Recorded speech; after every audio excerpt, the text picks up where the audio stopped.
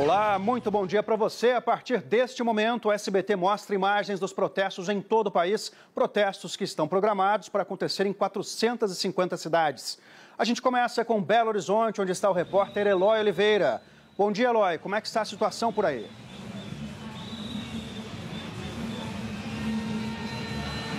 Boa tarde, Marcelo. Boa tarde a todos. Aqui em Belo Horizonte, as manifestações acontecem principalmente na Praça da Liberdade. Nesse momento, segundo os organizadores, até 30 mil pessoas devem participar do ato que se concentra aqui na Praça da Liberdade, mas deve seguir em direção a.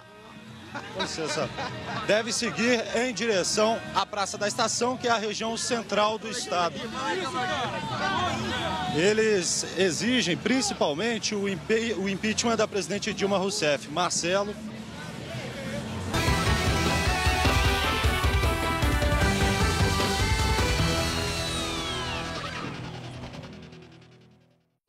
Jet Li